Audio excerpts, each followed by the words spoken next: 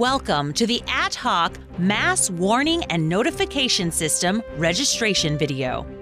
This video will help guide you through the AtHoc registration process.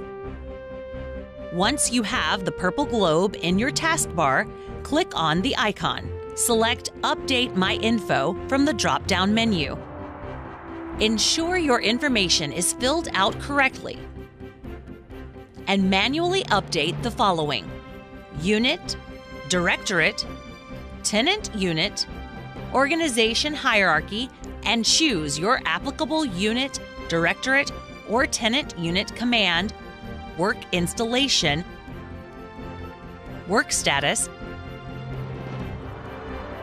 home installation,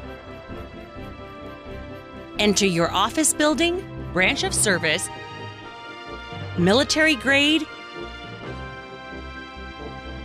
civilian grade,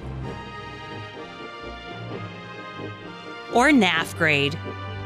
To enter a local phone number, enter that number in the following format 011 49 631 234567 or the phone number without any dashes.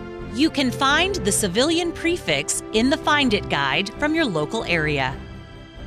Enter your full email address.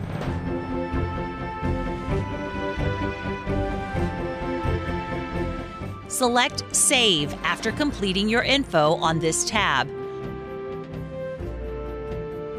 If you have any questions regarding your Garrison registration, please contact your local AtHoc manager.